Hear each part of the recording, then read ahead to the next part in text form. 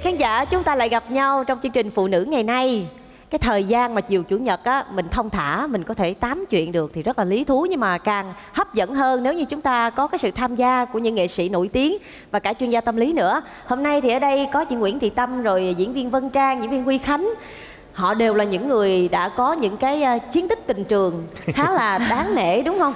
Và chủ đề ngày hôm nay thì là tình cũ không rủ cũng tới không biết nó có quá nhạy cảm với mình hay không ạ? Chắc mình không mình có sợ đâu. ờ, vợ biết không anh Khánh? không tại vì khi vợ chấp nhận lấy mình thì vợ đã biết được cái quá khứ của mình rồi còn tương lai thì mình còn chưa biết sao vợ biết được Dạ hả? Ờ, riêng Trang thì thấy cũng không có gì nhạy cảm lắm Thì đã cưới nhau có nghĩa là đã tin tưởng nhau rồi Ở đây toàn là những người có gia đình Chỉ có một mình Hà Trinh là chưa thôi Dạ nói chung là em cũng thả thính mà không ai đớp hết. ngày hôm nay nhờ chương trình mới biết là vân trang có một cả một chiến tích tình trường luôn Ở gì? không biết bây giờ mới biết nè Không phải em tả đó là em lấy anh làm hình mẫu đó. Ủa vậy hả? Đó mọi người là là, là mình mình ké ké theo thôi nhưng Ờ. mà ai mà chả biết anh Huy Khánh đúng không? Rất là đào hoa phong nhã. Em thấy đúng rồi anh không có nói thôi bây giờ đâu. quay ngược lại trinh nè nãy mới nói thả thính quá trời mà không dính kìa Em Khổ nghĩ là tại khó ơi. quá thôi Chứ mà xinh đẹp, dịu dàng, ờ, thông minh như không vậy phải mà. tại vì ích kỷ quá vừa thả ra người ta chưa kịp chụp chụp đớp là thu về rồi Nhiều khi cũng đúng đó nha. Cái kỹ năng thả thính nó bị Ừ. sai. sai nguyên tắc Mà cái kỹ năng bảo quản người yêu cũ nó cũng sai luôn. À, Bởi vậy nên người yêu mới người ta không có dám tới. Thấy chưa quý vị bây giờ mình mới thấy là thật ra cái kỹ năng mà mình dàn xếp giữa tình mới rồi tình cũ để sắp xếp cuộc sống tình yêu nó rất là quan trọng thế nên bây giờ chị tâm mới là có mặt trong buổi lễ ngày hôm nay nè chị tâm nghĩ sao về chủ đề này ạ Mình nghĩ chủ đề này rất là thú vị. Dạ. À, tất cả chúng ta từ nhỏ đến khi trưởng thành ai cũng đều chắc chắn đều có một cái à, lịch sử tình trường phải không? Dạ. Ai cũng đều có quá khứ những tình yêu của mình có thể là đẹp, có thể là chưa đẹp lắm. Nhưng mà điều đó mỗi khi nhắc đến ở trong lòng mỗi người đều có những cái cảm xúc rất là đặc biệt. Người ta cũng lại sống dậy những cái ký ức tình yêu cũ. em nghe cái chuyện sống dậy chứ tự em nổi sải rồi đó Công nhận là em, em. thấy là em không có chịu chị đựng được rồi đó sao? Nhưng mà kinh Dạ. nghiệm của em khi gặp người yêu cũ thì làm sao? hôm bữa em mới ờ, đi dự đám cưới mà người yêu cũ mời em làm mc Wow. em đi Đứng vô trong luôn. thiết em đi Ờ. vô trong đó gặp lại má chồng cũ. À, không có nghĩa là má chồng hụt. Má chồng hụt rồi ha, rất là nhiều họ hàng cũ. Trời giờ này con khỏe không này mình cũng thấy ngại em chết. em tham tiền quá à. Không, nếu như làm- người ta mời mình làm cưới mình có quyền từ chối còn này mời làm mc tức là phải trả tiền. À. Không đồng phải. ý đi là vì tiền. Không phải vì tiền em không có làm vì tiền Vậy là vì tình tại cũ. vì em Vì tình luôn. Bạn đó là bạn thân. Bây giờ bạn rất là thân rồi. Mà cái cô bạn gái có biết em là người yêu cũ không? Biết hết. Biết hả Biết dạ căng thẳng Ờ. quá nhưng bởi vì em nghe thấy chị tâm nói đắn mệt hút lắm. cay để em làm MC. Ờ, nhiều khi vậy á chị Chứ mà em thấy ngồi ở dưới bàn dưới thì không sao ha Còn đằng này đứng trên sân khấu cùng luôn. Có em giới thiệu mái. đây là má chồng già đây là má của chú rể không? Đó nhiều khi giới thiệu lộn đó. Đó nhiều khi cũng nói âm lắm quý vị à đâu phải lúc nào mình cũng có những cái mối quan hệ thoải mái được như vậy đâu. Ờ. Ừ. nên để xem á, là cái tình huống này nó có phổ biến hay không. Xin mời à, chị Vân Trang Huy Khánh với lại chị Tâm xem thử cái đoạn video clip sau đây nhé xin mời quý vị khán giả. Ồ cái này em tính sơ sơ nãy giờ á là đàn trai đàn gái là ba chục bàn rồi đó. Mình kết sổ đây nha. Cái gì mà có sổ? Chưa. Em còn à, ba đứa bạn cấp 2 nữa. À, Con à, con à, con chuột à, nhắt nè. Con con gấu trúc nè. Với lại à, con à, chó mặt sệ Sao bạn em toàn súc vật không vậy? Em tính mời những sở thú luôn hả? Anh ngùng quá à. Mấy cái này là cái nickname của bạn em đó ở trên Facebook á. Trời ơi trời bạn cấp 2 mà chơi Facebook thì biết có đi hay không? Ủa sao không đi? Đời người đám cưới chỉ có một lần à. Mình phải mời cho thiệt là hoành tráng vô chứ. Chưa chắc à. Đời người đâu phải bánh cứ một lần đâu. Gì? Cái gì? Ủa bộ Ý anh sao Anh là anh muốn là hả cưới thêm vài ba cô vợ nữa phải không? Không phải ý anh nói là Đời người không phải đám cưới một lần đó là mình còn ấy đám cưới bạc, đám cưới vàng, đám cưới kim cương. Chứ gì đâu anh là anh cưới em với mỗi mình em trong trái tim mà Hay thôi. quá ha. Ờ nghe vậy còn được á. Thôi được rồi À đúng rồi. Trời ơi Thấy chưa? Nhờ là Ừ, anh á chút xíu nữa hả là em có lỗi với đám bạn này của em luôn. Bây giờ anh ghi vô cho em thêm nha. À gấu misa thỏ trắng cái gì nữa ta? Búp bê. Em đừng nói em mời luôn đám bạn hồi mẫu giáo của em luôn chứ. Ủa sao anh biết hay vậy? Sao biết? Trời ơi tạm biệt búp bê thân yêu Tạm biệt gấu Misa nhé Tạm biệt thỏ trắng xinh xinh Mai em đi lấy chồng rồi Nhớ lắm Quên sao được Trường mẫu giáo thân yêu. Hay. Em mời thiệt luôn á hả? Ủa sao không thiệt? Trời ơi, đám bạn của em mà tại sao em không mời? Rồi gấu Misa búp bê đồ đủ rồi Em kiểm lại coi coi được chưa kìa. Và mình kết sổ luôn. Để mình coi nha cái gì đây? Cái gì? Ủa tại sao lại có tên của anh thư ở trong này? Thì anh thư là bạn anh thì anh mời. Hay quá. Dạ. Ừ, bạn gì mà bạn? Bạn hay là người yêu cũ? Thì lúc trước thì có học chung rồi xong rồi có yêu nhau trở thành người yêu xong rồi chia tay rồi bây giờ chỉ là bạn bè thôi. Hay quá ha. Ai biết đâu là bạn bè. Người ta nói là tình cũ không rủ cũng tới đó em nói cho anh biết. Thì nhưng mà rủ tới đám cưới mà cái gì? đám cưới hai mình mà với Không. lại em biết sao không? Bây giờ nguyên đám bạn đại học của anh á, anh mời hết mà trừ ánh thư ra thì kỳ. Người ta nói chết. Với lại em mời từ bạn mẫu giáo bạn cấp 2, cấp 3 em mời hết cho anh mời đám bạn đại học thôi có gì đâu. Anh mời đám bạn đại học anh á anh mời hết luôn nguyên trường đại học. Anh em cũng không nói tiếng nào nữa. Nhưng mà tuyệt đối không mời con nhỏ anh thư này cho em. Thì giờ em mời đi hết thì anh mời anh thư cũng có sao đâu cũng tại chỉ sao là mà không bạn sao? cũ. nè em nói anh ha bạn cũ xong cái bắt đầu hả đi tới cái đám cưới cái dẹo qua dẹo lại dẹo tới dẹo lui. Cái bắt đầu hả rinh luôn chú rể của em. Đúng không? Hai người đang có cái tư tưởng trong đầu là khi mà tới đó đám cưới xong rồi hai người nắm tay nhau bỏ trốn đúng không? Cái gì vậy em? Em coi ba cái phim tình cảm tào lao rồi tự nhiên em tưởng tượng gì làm gì có anh đó đó xác định là anh cưới và anh yêu một mình em thôi chứ làm gì có chuyện đó mời anh thư luôn nha không em nói không mời là không mời còn nếu như mà anh muốn người yêu cũ của anh tới đám cưới á không thì khỏi đám cưới luôn Em xong cái tình huống này mình thấy thì sao anh Khánh? Cái? Cái đội người yêu cũ của anh có bao giờ làm phiền anh không? thật ra thì uh, huy khánh ờ, tự động cắt đứt tất cả mối quan hệ cũ khi chuẩn bị lấy vợ là mình đã đã dàn xếp được hết dàn xếp dùng từ dàn xếp Dàn đúng không xếp. vậy từ chuyên môn á Dạ. dàn xếp hết những cái cuộc tình cũ để khi mình chuẩn bị bước vào cái cuộc tình mới dài tập của mình đó là mình không còn dướng bận gì về Dạ. cái chuyện cũ hết cho nên là trong danh sách không có. Chứ để À. có là sẽ gặp những cái khuất mắt như vậy. Đó. nhưng mà khánh nghĩ rằng trường hợp này là vân trang gặp. Tại em thấy anh mới là hình mẫu của cô dâu đại chiến đó. Thấy nhân vật chính nó sắp xếp sao hay quá mà mấy cô dâu đến Ừ. cùng lúc. Phim nó có em Dạ, đóng luôn thì đó, đó em là một trong những người Đây, yêu đây. cũ của anh đó. Bây giờ đời chị nghĩ thì sao trong cái hoàn cảnh đó? Chồng của em ở bên ngoài đời thì cũng giống anh khánh vậy đó. Có nghĩa là là một người rất là rạch ròi luôn luôn lúc nào là cũng ờ, không bao giờ nhắc tới người yêu cũ. Còn riêng bản thân em thì ngược lại hoàn toàn với chồng em. Đó. có nghĩa là đám cưới em á là Quá hả người gia yêu đệ bạn- càng đông càng vui. Người đúng rồi càng đông càng vui người yêu cũ bạn trai cũ hơi mới chớm chớm thích cũ gì đó là Thích em cũ cũng này nọ là mình là em mời hết. hết em thì em nghĩ thoáng mình đã dứt rồi và mình không còn suy nghĩ gì nữa hết thì thì thì có việc gì mà mình phải vướng mắc ở chỗ đó. Dạ. thì mình mình còn một cái gì đó vướng mắc mình còn tình cảm với người ta thì mình mới cố giấu đúng không? Còn đằng này là mình cứ phơi ra hết. Em có nghĩ Dạ. em kể ra vậy là vô tình em làm chồng em khó xử khi gặp lại những người yêu cũ của em không? Vậy hả anh? Nếu là- như em đi đóng phim nó ờ anh ơi hôm nay em đóng phim với anh này cái nhiên chồng em rồi bắt đầu khó chịu tại vì đóng với người yêu cũ. À, có một lần em đóng Đúng phim không? chung với người yêu cũ của em là anh ấy cũng là diễn viên luôn. Thế là Anh ờ, biết. lúc đó em mới quen em mới quen chồng em thì là ờ, mà quay quay lỡ quay quay tuốt tận đồng tháp một tháng Ồ. trời em mới đi lận thành tình ra là huống rủ á, cũng tới. Là cú này rủ hơi tháng Hèn lâu chi- đấy nha. Hèn chi Dạ. ngày nào cũng FaceTime, giờ nào cũng FaceTime với mình. Rồi hả, cuối tuần là phải phi từ Sài Gòn xuống dưới lại Đồng Tháp chơi với mình. Nói trời sao thương mình dữ vậy ta? Thương mình dữ vậy là ai vậy là đi giữ mình? Ê, vậy mai mốt mình chơi chiêu đó được á. Đóng Ờ. phim không có với người yêu mà với bộ này hôm nay em đóng với người yêu cũ.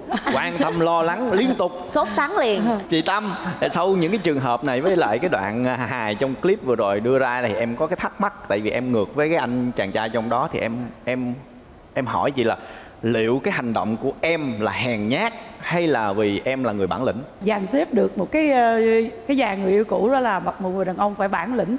Mà cái bản lĩnh đó nó không phải là đợi cái lúc dàn xếp em mới thể hiện bản lĩnh mà cái bản lĩnh trong tình yêu tức là trong lúc mình yêu mình đã làm sao thì mình mới đủ tư cách để mình có thể gặp người ta để dàn xếp vậy là bao nhiêu lâu qua em có tưởng em là người hèn nhát nhờ tham gia chương trình này em biết em là người bản lĩnh ghê không? nhưng mà em còn một câu nữa em hỏi chị nè À. em rất là thắc mắc tại sao những người đàn ông thích đi ăn đám cưới của người yêu cũ hơn là những cô gái họ không bao giờ thích đi ăn đám cưới của người yêu cũ. Đàn bà tình cảm hơn hả? Họ Đó, vẫn còn mình suy nghĩ nhiều quá. Ở trong tâm lý á, nó có một cái chuyện này nè. Ví dụ như người đàn ông á, mà người ta chia tay à, với cái người yêu cũ của người ta thì người ta cũng có một chút thắc mắc tò mò. Người ta vẫn ờ, quan tâm hay là muốn dõi theo hay là Dạ, muốn biết coi là cái anh chồng của cái người yêu cũ mình là cái anh nào có mang lại hạnh phúc cho người người bồ cũ của mình hay không dạ hoặc là người ta rất là đại trượng phu nam nhi đại trượng phu là em mà mời anh là anh đi không có Dạ. vấn đề gì hết. Nhưng mà phụ nữ á, thì à, giống như lại vân trang nói á, trên là hơi cái thể cảm xúc mà.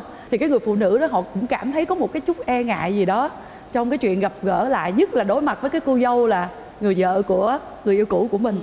Cái đó làm cho người ta cảm thấy nó giống như là mình là bên thua cuộc chứ không phải là bên thắng cuộc á. À. Dạ. thì cái cảm giác đó người ta rất là là khó chịu. Sau cái câu hỏi này thì em đúc kết ra được là mc nữ của chúng ta ngày hôm nay liêu hà trinh là một người rất bản lĩnh. Thậm thậm chí không đi ăn đám cưới mà còn lên lên làm làm MC nữa. Thật ra đúng như là chị à, tâm nói á, cái tất cả là do tâm lý của mình thôi.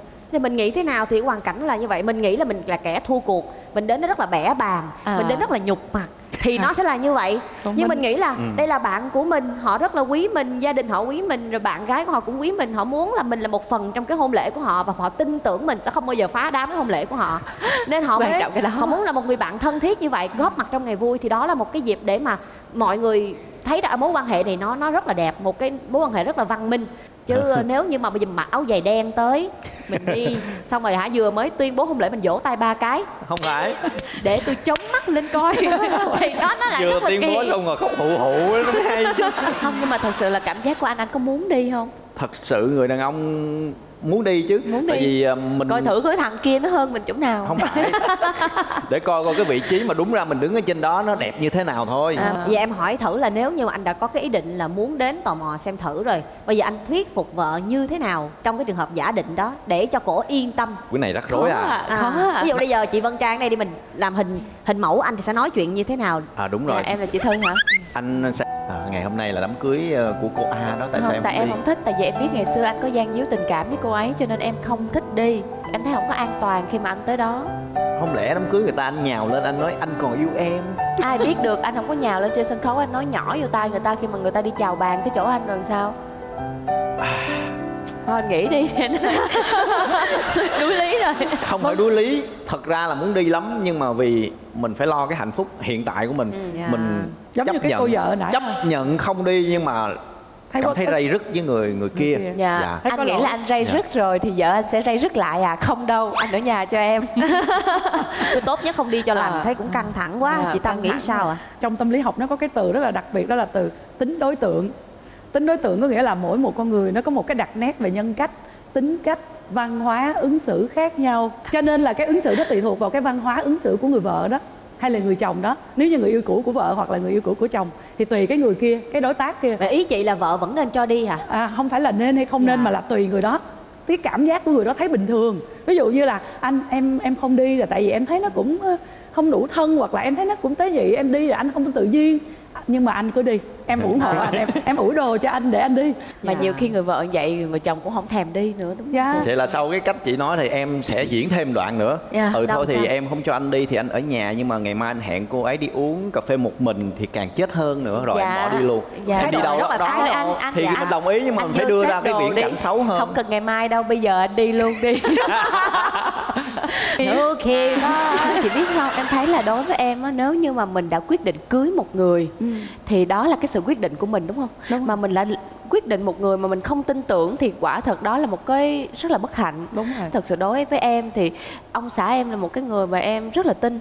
Dạ. thậm chí anh không hề nhắc tới người yêu cũ nhưng mà em thì em cứ khuấy khuấy khuấy em hỏi em hỏi hoài luôn em hỏi cho ra được cho tánh bằng kỳ. không rồi ra À. được rồi em làm gì ta em thích em thích cái cảm giác gì đó em thích cái cảm giác ờ, là nếu như mà trong đám cưới mà anh có mời em sẽ sẵn sàng để cái bàn thật là sát cái sân khấu cho chị ấy ngồi luôn cũng được nữa. Là tại vì cơ bản là mình bây giờ mình mình tự tin mình cũng đẹp mình cũng có tất cả mọi thứ. Việc gì mình phải ghen với một người yêu cũ đúng không? Thành tính là- của em là muốn khẳng định chủ quyền cho tất cả các người yêu cũ biết. Tôi hiện tại là vợ Bên này nha. cuộc, đó. chứ không phải là tốt lành gì đâu.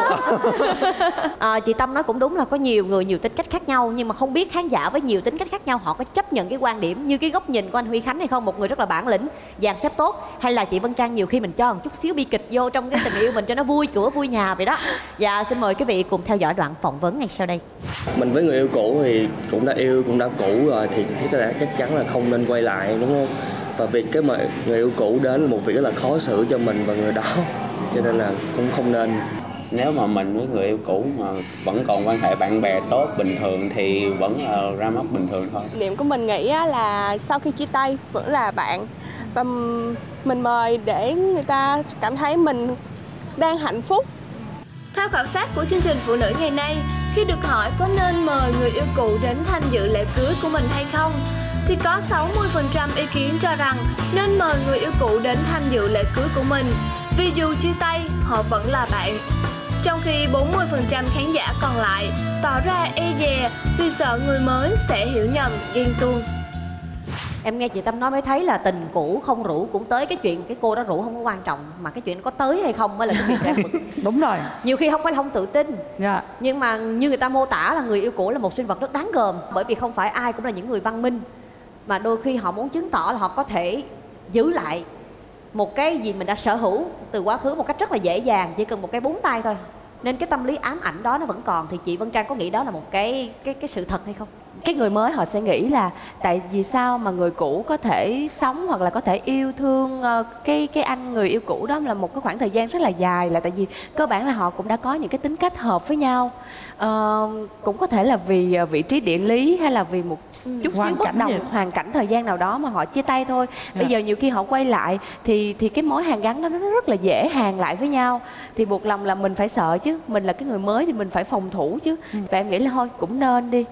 cũng nên đi. Ờ, khi Cho mà nó mình an toàn đã dạ cho nó an toàn. Thôi theo em thì ngược lại chị ơi. À. thời buổi hiện đại rồi tại sao mình có cái suy nghĩ cổ hủ hoài? Mình mình đang là người đương thời Dạ. đang đương nhiệm với cái tình yêu mà mình đang có thì mình phải mạnh mẽ bản lĩnh tự tin mình cho người ta thấy mình đang là người hạnh phúc nhất. Tại sao mình người ta cái cũ không ghen với cái mới thôi mắc gì cái mới cứ đi ghen với cái cũ hoài chính vì cái ghen đó sẽ làm phá vỡ hạnh phúc hiện tại Đúng rồi. cứ nói hoài đi tôi làm thiệt cho coi Đúng rồi. bực À. ta làm thiệt thôi Thực ra đó chị thì lại nghĩ như vậy Không phải là cái chuyện cô vợ nghĩ như thế nào Hay là cho phép người chồng đi gặp người cũ hay không Mà cái vấn đề là cái ứng xử, cái hành xử của người chồng đó Làm như thế nào Ờ, Để cho cô an vợ tâm. cảm thấy rằng là nên cho đi hay là không nên cho đi gặp lại Dạ. À cái này em đồng ý nha. à, Ví dụ như là ảnh không có cái gì à, ảnh cứ lén lén lúc lúc rồi nhắn tin rồi thậm thò thậm thục rồi cứ lặng lẽ đi không hỏi ý kiến vợ thì dĩ nhiên là vợ sẽ đặt những dấu hỏi rất lớn thôi chết rồi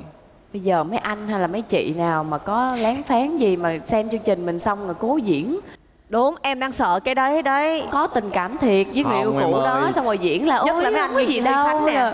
Em nhìn xem mặt anh có đang quan tâm người yêu cũ không? Ừ, Anh không, đi đây, không, ra ngoài là Ờ, nhảy trên sáo lá lá lá lá liền. Ai mà biết được. thực ra đó cái chuyện mà cái quá khứ lịch sử tình yêu ai cũng sẽ có người cũ chị bảo đảm như vậy. Nhưng mà cái người đó họ sống với mình trong một khoảng thời gian mà mình phải hiểu được cái tâm tính của người đó. Mình phải có một cái xác lập một cái niềm tin nơi cái người chồng của mình. Còn nếu như mà mình cảm thấy rằng là nó có quá nhiều rủi ro mình cũng không nói là mình cấm mà mình phải phân tích cho chồng thấy. Để cho anh tự lựa chọn. Ví dụ như là em thấy cô ấy còn thương anh nhiều lắm. Đó, à, em thấy cô ấy là người rất là không có nguyên nguyên tắc gọi là một xô thính. À, đúng là một Dạ, thính. thính. Cô ấy Dạ. sẵn sàng thả thính nếu như là anh cũng ờ, đốt thính thì mình sẽ phân tích cho chồng mình nếu mình biết được về cái người con gái kia. Dạ. Còn nếu mà mình không biết gì hết thì mình nói một câu vậy người chồng cũng sẽ em thì em không biết gì hết nhưng em rất là tôn trọng anh và cái mối quan hệ đó.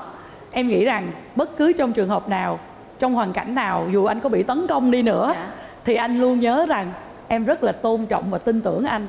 anh hãy sống với cái niềm tin đó cho nó xứng đáng. Hay quá cái chiêu làm sao Dạ. thì làm. Mình đưa người ta lên vị trí cao nhất. bởi bởi vậy sau sau khi chị nói thì em thấy em lập luận ngược lại Vân Trang nãy giờ là cũng có phần đúng vì khán giả phải nên coi chương trình này nhiều hơn và đặc biệt là cái số này Dạ. để mình mở lòng ra Đúng mở rồi. cái suy nghĩ mình ra Dạ. để cho mình hạnh phúc hơn và mình cảm cho chồng mình cảm thấy là mình là một người phụ nữ bản lĩnh hoặc người đàn ông bản lĩnh. Có gì đâu phải sợ. Dạ thì em phải khơi thì anh mới kết lại được đó anh. Đó. Chưa kết đâu bởi vì á, mình còn một cái thử thách nho nhỏ đây. À, vậy hả? mà nãy giờ là mọi người chỉ xem cái phần 1 của đoạn clip thôi. Là cái chuyện mà hai vợ chồng cãi nhau xem có nên mời người yêu cũ hay không. Câu hỏi chính xác là người chồng ở trong tiểu phẩm đó có mời người yêu cũ đến dự đám cưới của mình không? Em nghĩ anh này mời chắc. Chắc. Mời. Mời. tại Mời vì hả? à, ảnh đối với ảnh nó là trong sáng rồi Bình bạn thường lẽ rồi bình thường ảnh mời. Em thì em nghĩ là không mời đâu. Thì cô vợ rất là tại vì quyết. cô cô vợ rất là hung dữ. Rất là cái nếu mà có cô kia là không có cổ. dạ cái Đang tính đặt- cái cô vợ này là cô vợ này hung dữ. À, cái cô vợ này là cổ cũng lắc thắt lắc thắt lắc thắt chứ không phải là cái kiểu mà điềm đạm mà phải suy nghĩ này kia nọ đâu cho nên là ảnh sẽ không có được mời. Chị nghĩ chắc ảnh dám mời á mời đúng không? mời mời và không mời. Bây giờ mời hay không mời xin mời quý vị cùng theo dõi tiếp. Anh làm gì nhìn em cười hoài vậy? Lâu ngày không gặp anh tính anh cũng hài hước. Vô cái đi nè. Chúc mừng anh nha. Chúc mừng em. Lúc này à, em à, vẫn còn thói quen là à, thích ăn à, à, thịt gà chấm bồ tạt hả anh này chọc em hoài à. Hồi xưa thì không biết nghe dụ dụ gì ăn thử chứ bộ. Đứa con quê thiệt anh ha. Em khỏe không? Khỏe. Công nhận nụ cười em vẫn như ngày nào. Vẫn xinh đẹp như Đạt. ngày nào. anh hay quá à. Anh dám ra đây hẹn hò với người yêu cũ luôn á hả? Đâu có em không có. Em bình tĩnh lại bình tĩnh lại. Chuyện đâu còn có đó em. Bình tĩnh cái gì? Anh hẹn hò chứng cứ là rành ở đây còn bình tĩnh nữa hả? Anh chắc chị ngồi xuống rồi mình nói chuyện chị đừng có hiểu lầm bình tĩnh lại em. Trời hiểu ơi. lầm cái gì? Tôi thấy chứng tỏ hả? Hai người đang ngồi cười cười nói nói với nhau như vậy rồi mà còn hiểu lầm nữa hả? Chứ không lẽ hai người nhìn nhau khóc? À, trời ơi là trời sao tôi khổ gì nào không biết sắp cưới tới nơi rồi á mà người ta còn mèo mã gà đồng trước mặt tôi vậy nữa nè. Trời ơi em đừng có như vậy mà. Em bình tĩnh đi lại. Em bình tĩnh lại đi. Tại tới đây là tại cái vụ này. Ủa em đã nói với anh như thế nào? Không được mời người yêu cũ tới đám cưới của mình mà anh cũng hả? Không coi lời nói em ra gì à, à, chị ơi Rồi, chị. vậy chứ anh đem thiệp cưới lên làm gì? À, chị chị chị. À, chị hiểu lầm rồi. Đây là thiệp cưới của em. Em đem tới đây là mời anh chị đến dự đám cưới của em mà gì? Thiệp cưới của cô hả? Đám Dạ. cưới đám cưới người ta. Giờ em đã là vợ người ta. Chứ đâu còn người yêu cũ của anh đâu. Em bình tĩnh lại đi. Tự nhiên em ghen bóng ghen gió gì kỳ quá vậy. Bây giờ người ta lỡ người ta mời rồi nè. Mình cũng phải mời lại người ta. Bù qua sớt lại chứ mấy mình lỗ đó chị đừng có hiểu lầm nha. Thật ra em với anh đạt á lâu rồi cũng có liên lạc với nhau mà tại vì gần đây có nhắn tin là do công việc thôi à. À, à. ờ thì ờ, thì đó. thì em xin lỗi tại ờ, tại cũng tại em thương anh. Rồi á, anh cứ úp úp mở mở hoài à. Rồi sao? Cho nên ờ, em mới vô trong facebook em mới coi tin nhắn em mới biết bữa nay hai người hẹn nhau á. Em dạ em hiểu tâm trạng của chị mà. Chị yên tâm đi em khẳng định là em với anh đạt không có gì đâu chị nha chị không có gì đâu thiệt. Với lại em có coi facebook anh rồi hả? Có chứ sao không? Rồi biết vụ này còn biết vụ gì nữa không? Cái gì? Anh còn vụ khác nữa hả? Còn à, còn, còn mấy cái không phải. Anh hay lắm nha. Mấy cái hội ờ, bạn bè của anh hội ờ, gì đó thì sẵn đây sắp cưới em rồi anh khai luôn. Nhưng mà thiệt tình anh nói là anh yêu của một mình em thôi chứ không hề ai khác hết. Ha bà xã ha. Ừ, thì á anh hên vụ này thôi em bỏ qua cho anh nha. Mai mốt mà còn lần sau nữa là thôi giờ lỡ rồi người ta mời đám cưới mình rồi giờ mình mời đám cưới lại người ta cho có qua có lại tại lòng nhau ha. Vậy à, thư cho xin lỗi nha. Tại vì á hả sắp tới cưới rồi á cho nên mình hay bị căng thẳng chút xíu. Dạ không có gì đâu. Chị hiểu được là em vui lắm rồi. Em chúc hai anh chị hạnh phúc chứ đừng có hiểu lầm nhau vậy nữa nha ừ. Trời Cảm ơn đó vậy vui vẻ cả nhà không? Mới rồi em cũng tưởng là chị Vân Trang đúng á. Xong rồi lôi cái kèo đó lật miếng nào không hên biết anh luôn. hên anh hên. Hên ờ anh hên thôi. Hên nhờ cô kia cũng có chồng kịp lúc. Đó. đó bây giờ chị Vân Trang bị phạt thôi. Phải hả? Ờ, Hát đi. thôi hát đơn ca tài tử được thôi không Vân Trang hát giỏi lắm đừng cho Vân Trang hát. Thấy ghê quá. Anh mới để chị Trang thử thách chính mình chứ. À. em thì phải mở lòng ra. Chẳng hát khúc thôi ha. Dạ. Ờ, Ôi tuổi xanh mộng mơ Dân dương tháng năm mong chờ. Hứa duyên trao lời ngài anh về lứa đôi thành hôn.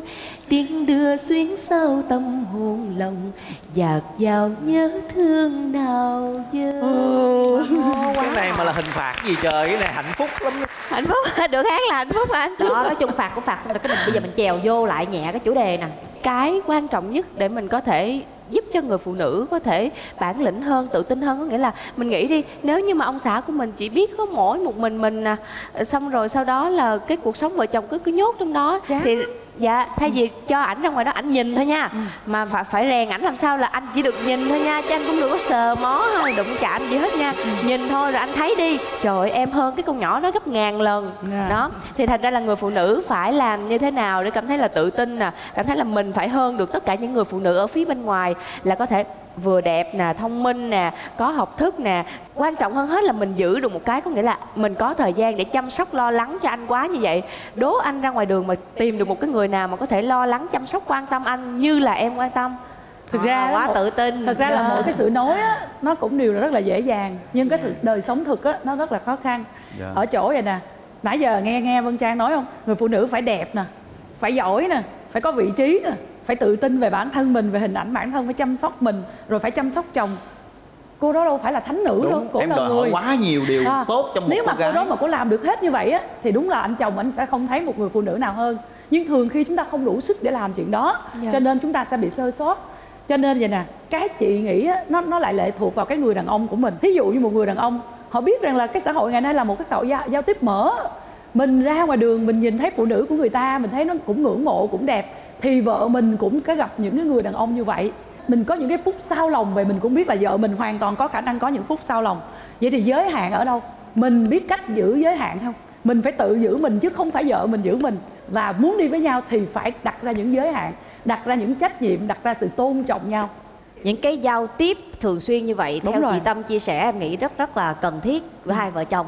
Và theo kinh nghiệm thật của em luôn à, thì à, bạn trai hiện tại cũng có một mối tình rất là sâu đậm sâu đậm. và mối tình đẹp. Nhưng mà cũng vì hoàn cảnh hai người không có đến được với nhau thôi.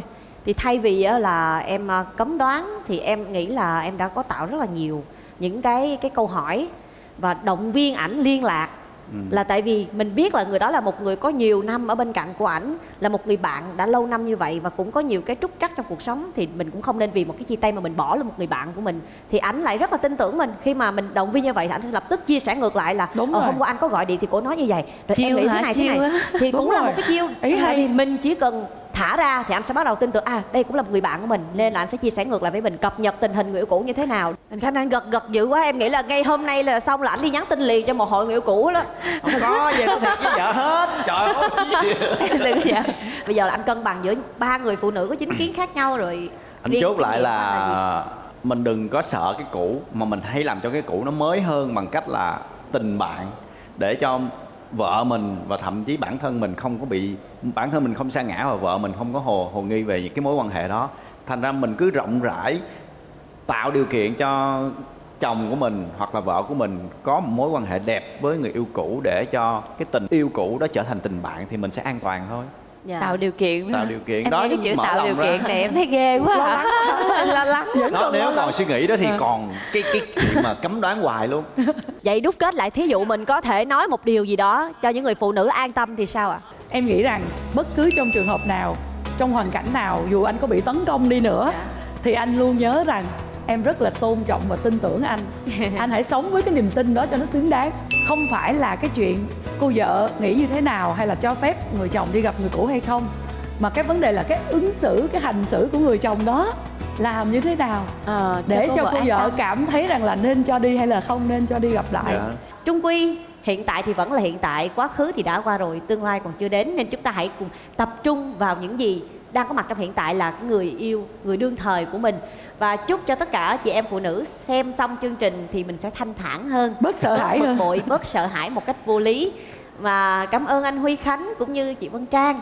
À, hai diễn viên rất là dễ thương và nhiệt tình đã tham gia vào chương trình ngày hôm nay. À, thưa quý vị chương trình phụ nữ ngày nay được phát sóng vào lúc 17 giờ mỗi chủ nhật hàng tuần trên kênh truyền hình Vĩnh Long 1 Chương trình do Đài truyền hình Vĩnh Long phối hợp cùng công ty truyền thông Bi thực hiện. À, xin phép được dừng tại đây và chúng ta vẫn còn sẽ được cập nhật những thông tin lý thú hơn trong tuần sau. Xin chúc quý vị một buổi chiều thật nhiều niềm vui. Xin chào tạm biệt và hẹn gặp lại.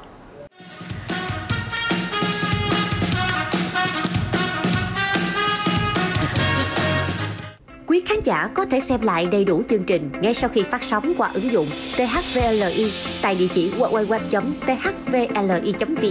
hoặc tại ứng dụng THVLI trên các dòng Smart TV, LG, Samsung và Sony hay trên Google Play hoặc App Store. Khán giả tại Hà Nội có thể xem truyền hình Vĩnh Long 1 trên hệ thống cáp analog của VTV Cáp tại vị trí kênh số 8.